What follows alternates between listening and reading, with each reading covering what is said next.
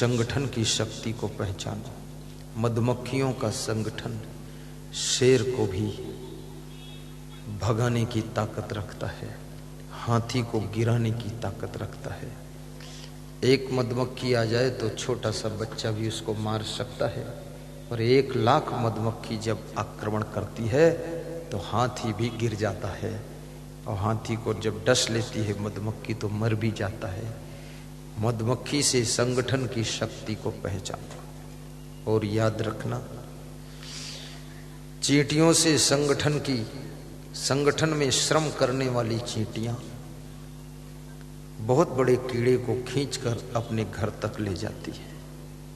एक चींटी उस कीड़े को नहीं खींच पाएगी, लेकिन बहुत बड़ा कीड़ा है, सैकड़ों चींटियाँ जुट के खींच ले जाती है। ऐसे ही बहुत बड़े कार्य को। आज जो ये कार्यक्रम हो रहा है, इस कार्यक्रम में भी संगठन का प्रभाव है। बहुत बड़ा संगठन काम कर रहा है। आयोजक मंडल बहुत बड़ा मंडल है। जितने आयोजक मंडल के कार्यकर्ता यहाँ विद्यमान है, जरा खड़े हो जाए। देख लो मैं उनकी। कुछ न देखो तो कम से कम ड्रेस तो देख लो। वाह, क्या बात है। कुछ यहाँ है, कुछ वहाँ है, कुछ कहाँ है, चाहे जहाँ है, पर है यहाँ। बहुत बहुत धन्यवाद है। जिनकी ज़मीन है, ये ज़मीन, ये भी आयोजक मंडल में है, शिक्षक जी। एवार्ड प्राप्त कर चुके हैं। ज़मीन वाले खड़े रहो, बाकी बैठ जाओ। ज़मीन किसकी है ये? यही दोनों लोगों की। ये जमींदार लोग हैं। इनको खुश रखना पड़ेगा। नहीं तो अभी बोल देंगे, मेरी ज़मीन खाली करो तो हम लोग कहाँ जाएँगे? बैठ जाओ नहीं बोलेंगे वो बोलते, नहीं, ऐसा नहीं बोलूँगा। बहुत महान हो। शिक्षक और शिक्षिका जो माधव इंग्लिश मीडियम स्कूल के इस संगठन में, आयोजन मंडल में कार्य कर रहे हैं, वो भी सब खड़े हो जाएँ। जहाँ जो हो, शिक्षक, शिक्षिका जितने दर्शन कर लो, तुम लोग ताली भी नहीं बजाते हो।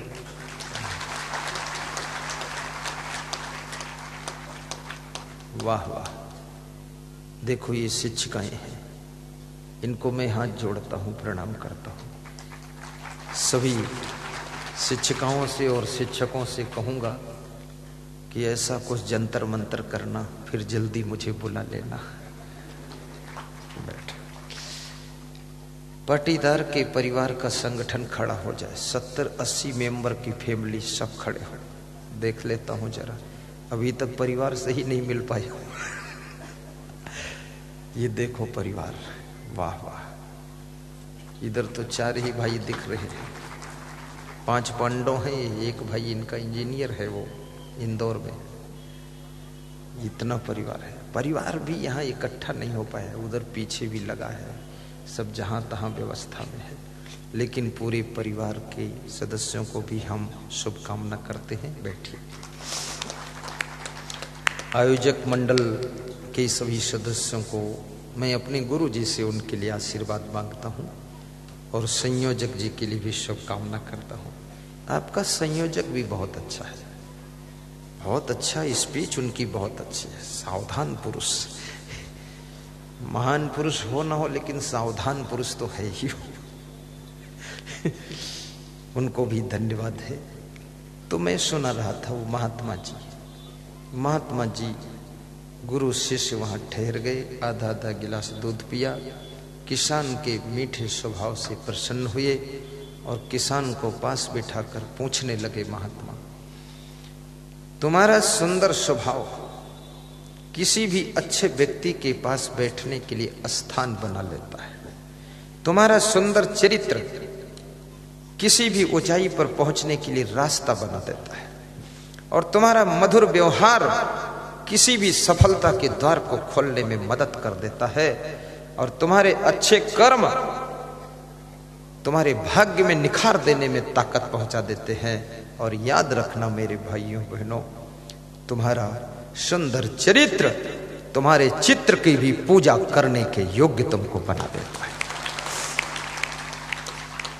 चित्र की पूजा तो उन्हीं की करनी चाहिए जिनका चरित्र उत्तम हो।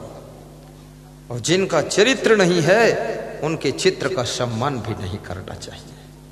फालतू लोगों का चित्र लगाना भी नहीं चाहिए। चित्र उनका लगाओ, या तो देश के लिए कुछ कार्य किया है या तो तुमको जिन्होंने माता पिता ने जन्म दिया है, या ज़िंदगी जीने के फार्मूला ज्ञान जिन्होंने तुमको सिखाया है, ऐसे महान संत का चित्र लगाइए, दर्शन कीजिए, अन्यथा ये अरे गहरे नथु खैरे, फिल्मी एक्टरों के चित्र मत लगाइए और गधे घोड़े सांप बिच्छू के चित्र मत लगाइए। अपने माता पिता का चित्र लगाओ, दर्शन करो। और अपने बेडरूम में अपनी पत्नी का भी चित्र लगाओ। और उससे ये कहा करो, हम तुमको सबसे ज़्यादा मानते हैं। एक एक आदमी अपनी पत्नी से कह रहा था कि मैं तुमको बहुत मानता हूँ। तो उसकी पत्नी ने कहा, ये बताने की क्या ज़रूरत है? बोले, बता, इसलिए देता हूँ कि तुम जानती हो कि नहीं जानती हो तो बता देता हूँ, जान जाओ कि मैं तुमको बहुत मानता हूँ। तो उसकी पत्नी ने पूछा तो ये भी बता दो, तुम हमको कितना मानते हो? तो उसने कहा, मैं तुमको बहुत मानता हूँ। बोले, बहुत नहीं, ये बताओ तुम फिर कितना मानते हो? तो उसने कहा, मैं इतना मानता हूँ कि तू मेरी जान है। तो पत्नी खुश हो गई कि मैं इसकी जान हूँ। जब चाहूँगी तो जान खींच दूँगी।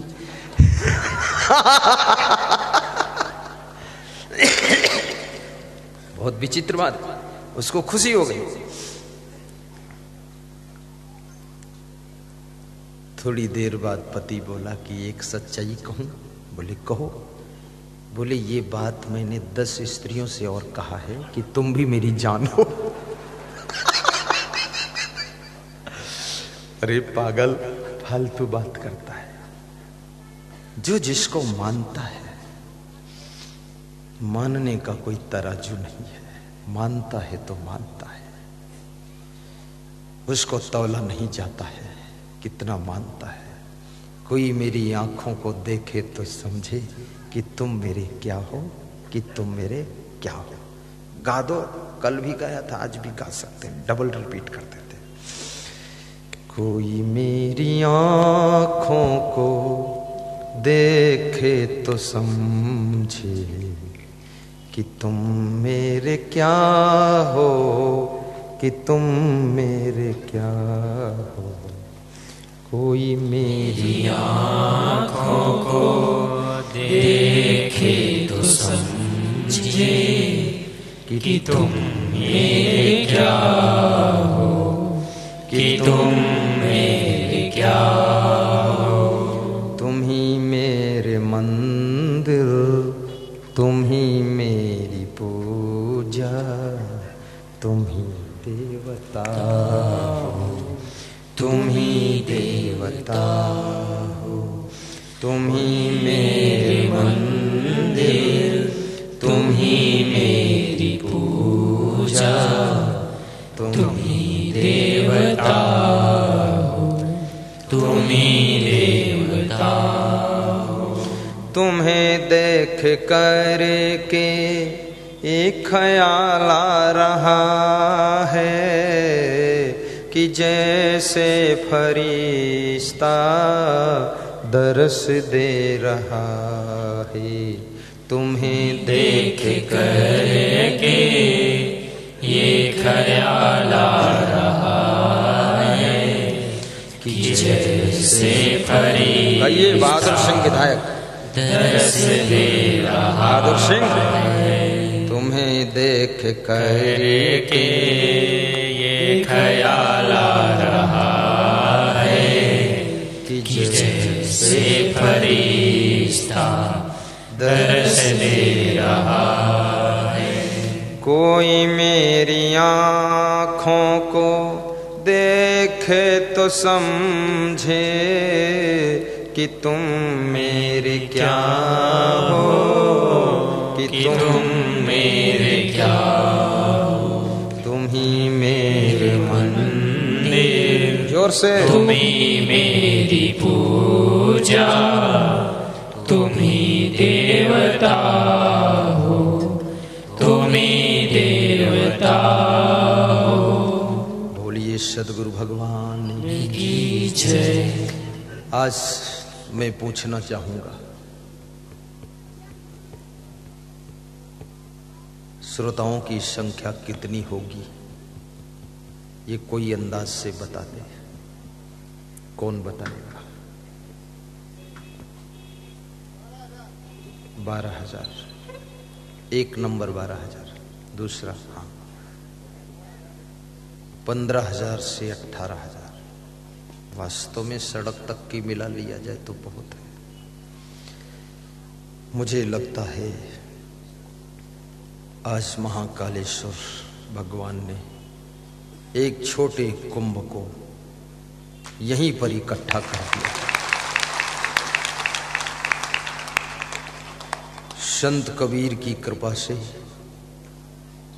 ये महाकालेश्वर का जिला है। आज इतने लोग सत्संग का रसपान कर रहे हैं। कोई धैर्य रखना, घबराना मत। छोटी चीज़ में अटक कर रहना मत। मन को भटकने न देना।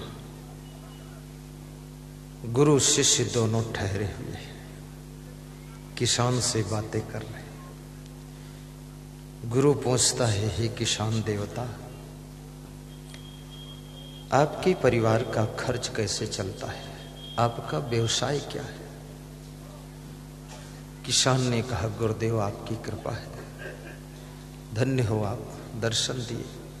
मेरे पास एक भैंस है।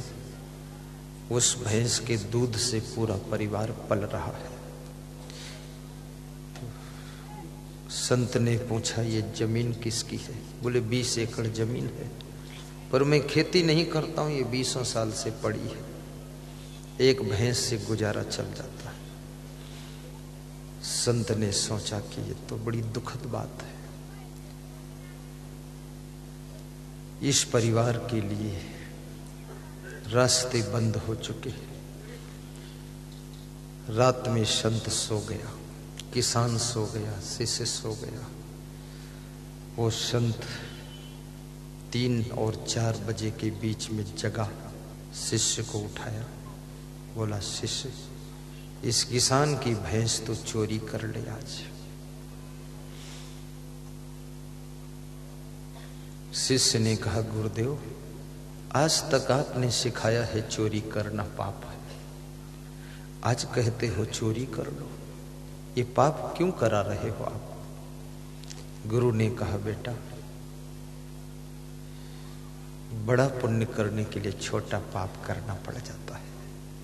बोले इसमें क्या पुण्य है? गरीब आदमी है, एक भैंस से परिवार पल रहा, चोरी करा रहे बोले, तर्क करे वो शिष्य नहीं होता है, चोरी कर। शिष्य ने भैंस चोरी किया। गुरु शिष्य दोनों रात के चार बजे गायब हो गए। भैंस भी गायब। सुबह पाँच बजे किसान जागता है, देखता है, न गुरु शिष्य है, न भैंस है।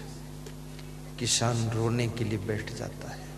किसान की पत्नी भी रोने लग जाती कि पूरा बर्बाद हो गए साधु को मेहमान बनाकर। पत्नी बोली, साधु ही ले गया है वो।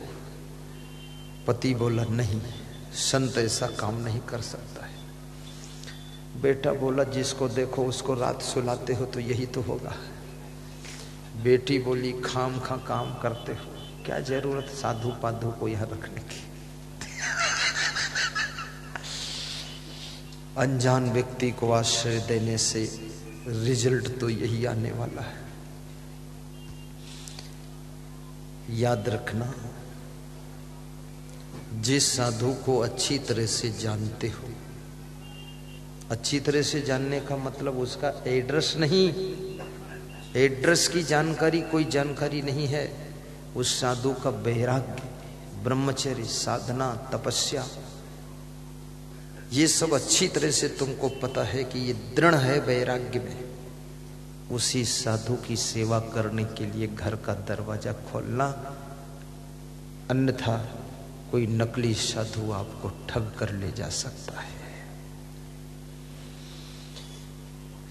चार पैर वाला हर जानवर गाय नहीं होता है। साधु भेष में रहने वाला हर व्यक्ति साधु नहीं होता है। लंबा कुर्ता पहनने वाला हर व्यक्ति नेता नहीं होता है। और हर नेता ईमानदार नहीं होता है। हर ईमानदार व्यक्ति नेता नहीं होता है। इसलिए समझ लेना, आदमी को जानना चाहिए कि आदमी कैसा है। गाय, भैंस को पहचानना आसान होता है। चिड़ियों को पहचानना आसान है। सांप को पहचानना आसान है। लेकिन आदमी को पहचानना बहुत कठिन होता है। और जिसको आदमी को पहचानने की कला गई जिसने आदमी को रीडिंग करने की कला सीख लिया, वो आदमी कभी आदमी से फेल नहीं होता है, वो आदमी आदमी के द्वारा ही सफल होता है। इसलिए आदमी को रीडिंग करना सीखो। लल्लो चप्पो की बातों में मत आया करो, खुसुर फुसुर बातें मत किया करो। आदमी को रीडिंग करो। पढ़ो इस आदमी को। वो आदमी भी बहुत विचित्र है। ये रंग बदलता है, ढंग बदलता है। तो किसान दो तीन दिन रोता है, पत्नी भी रोती है, दुख हो गया। अब कहाँ तक रोए, फिर रोना बंद कर दिया। पत्नी ने कहा, अब रोने धोने से काम नहीं चलेगा, कुछ काम कीजिए। पैसे कमाइए। पैसा हर व्यक्ति को कमाना चाहिए। और पैसे कमाने की योग्यता प्राप्त करना चाहिए और पैसे कमाने की कला भी सीखना चाहिए और पैसे कमाने के गुणों में क्वालिटी होना चाहिए और पैसा सबको ज़रूरत है, इसलिए पैसा परमात्मा तो नहीं है, लेकिन परमात्मा से नीचे सेकंड नंबर का ये भी है, पैसे से इस दुनिया के काम चलते हैं और पैसा को संभालना भी सीखना चाहिए, पैसा कमाना भी आसान है और पैसा बचाना भी आसान है, लेकिन पैसे को सही ढंग से संभाल कर खर्च करना बहुत कठिन है। कभी कभी तुम्हारा ही कमाया हुआ पैसा तुमको ही बर्बाद करता है, जुआ और शराब में ढकेल देता है और तुम ज़ीरो पर चले जाते हो।